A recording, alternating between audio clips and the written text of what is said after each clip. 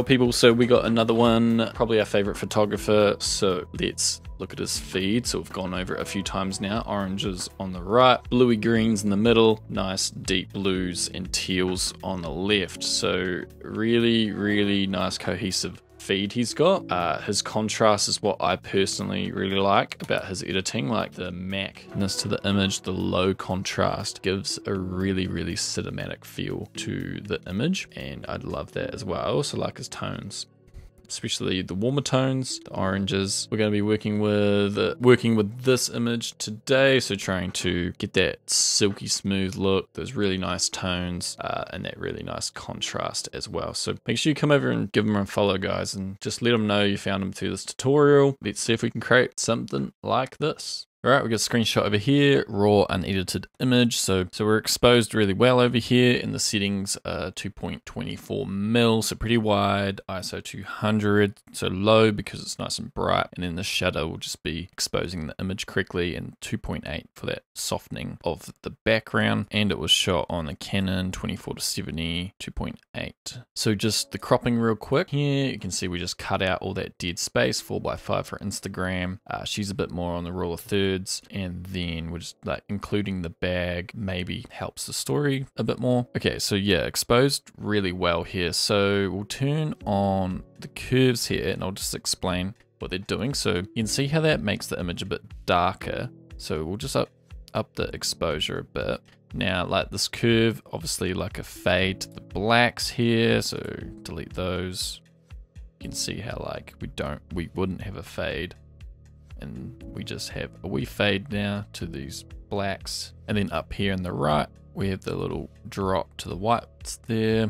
Bit of a darkening to the shadows for some contrast. And then in this curve we yeah just put in a bit of a lift for maybe help with the fade a touch of a fade in those blacks and then a bit of a matte to the highlights and whites a bit there so yeah that's the reasoning for those adjustments and then nothing in the color channels it's the curves and you can see why that darkened our image a bit because we brought down the shadows and then this curve brought down the highlights. That's why we had to bump up the exposure, it darkened our image a bit. Let's move up here. Now I'm gonna add in some clarity because I think just the con like especially for the contrast it gives, I feel like it's probably what he has done. I want a bit of a pop to the image. So I'm gonna bring up the whites. Contrast down.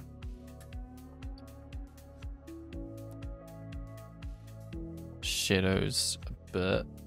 And then like just to you can see how that just brings a bit of detail out of the blacks.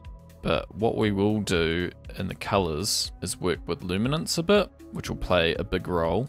I'll just do it now. So I reckon all these greens really shine. So we're gonna bump up the luminance of the greens right up. I think her blue jeans shine a lot, so we're gonna grab the luminance of the blues and go right up, and then there's not many aquas, but we'll slide them up. Uh, and then the oranges, so we'll bring the oranges in, but I think they also have a good shine to them, so we're gonna bring up the luminance. I'll just come back up here and just quickly bring up the saturation of all these colors. Maybe some vibrance as well. Okay.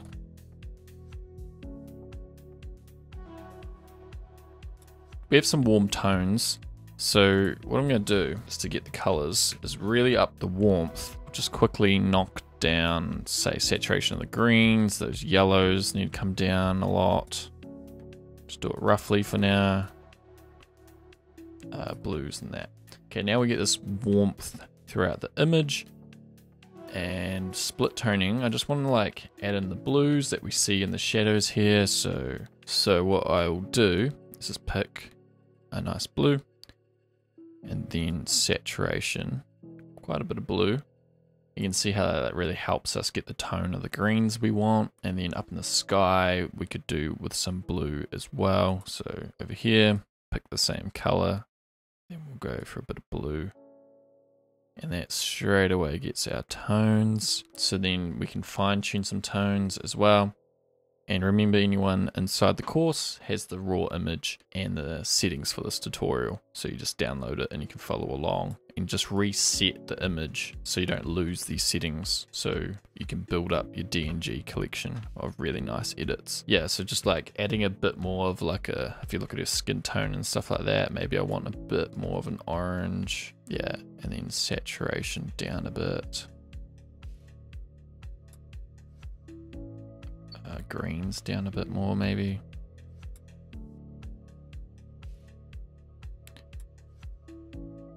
Three.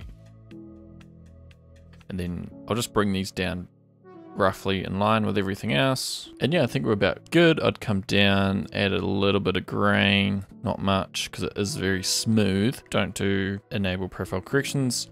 Sharpening is a smooth image. I'd keep it reasonably low. And we get plenty of sharpening from the clarity so probably don't need the sharpening from sharpening. And yeah I don't think we need any brushes or filters. Okay so if we went say his image right here and then we go back to our image maybe a bit more pop especially like to this area you can see how we're a bit dimmer.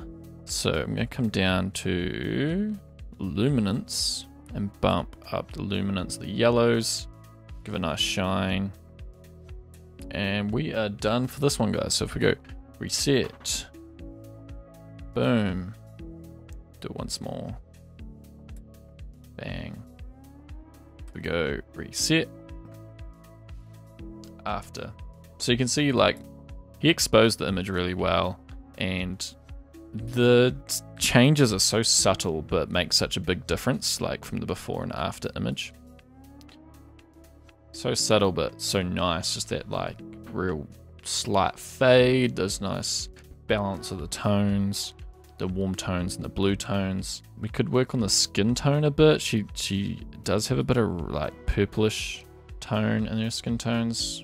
Probably want more of an orange richness so maybe something like that. So the main takeaways was probably the curves here, creating that fade and nice matte. Clarity plays a pretty big role in the texture of the image. Whites popping, exposure up. I'd say warmth plays quite a big role. And then obviously split toning plays a pretty big role as well there. So yeah, that's it for this one, guys. Alright, guys, so if you want to learn everything about color, like what I understand color, because it's honestly super important when you're doing these tutorials to know everything there is to do with color. Free training down below, and then obviously in the course, we go really in depth into color. It's basically a color course. We go over how to balance colors, how to create the exact color you want using the tools like curves. You have to understand the curves really well to be able to use color in your images and then get the style you want to your images because you'll understand what I understand about doing these tutorials, um, how to look at an image, know what it needs, understand the tools really in depth. So I know the difference between sliders, curves, and how those two tools interact with each other and how using tools together, you can get a result that just isn't achievable any other way apart from having an in-depth understanding of the tools and how they interact with each other. So if you want to get to the point of creating your own style, your own brand online, you, you're gonna have to know these principles, color, contrast. If you want to buy presets, be able to use those presets effectively and then change those presets to your own presets, you need to know everything I cover uh, firstly in the free training down in the description and then in the course as well. So, and then also I get questions about, is it for video color grading? As well. And yes, 100%. If you're only into video, this is crucial for you as well. I love video color grading. It's the same concepts, the same everything for this as well. So go give them a follow. Check out the free training down in the description. Check out the course if you want to go to the next level and comment as always people you want to see on this YouTube channel because then I can ask them to be a part of it and I can do more videos for you guys. I mean, if you guys really like these YouTube tutorials, you'll love the, the content of the course, but you'll also get many, many of the raw images we use for these YouTube tutorials and you'll get way more out of these YouTube tutorials if you're part of the course because personally personally, I learned really quick by getting the raw images, and I know you guys will too. That's why I go to such an extent to get the raw images available. So yeah, Thanks for watching, guys. Catch you. Ah, follow me on Instagram as well. I'll be posting much more, especially when COVID opens up. I'll be traveling a lot more.